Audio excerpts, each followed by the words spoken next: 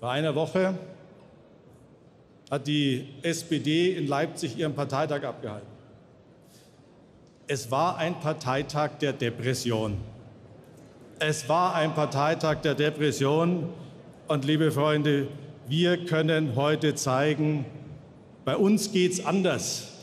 Die CSU in München, die feiert einen Parteitag der Motivation und des Aufbruchs. Für uns ist und bleibt auch eines vollkommen klar. Mit den Linkskommunisten koaliert man nicht. Die Linkspartei bekämpft man. Das soll sich Gabriel mal hinter die Ohren schreiben. Es ist ein Armutszeugnis für die SPD, wenn sie sich selber nichts mehr zutraut, sondern sich der Linkspartei ausliefert, liebe Freunde.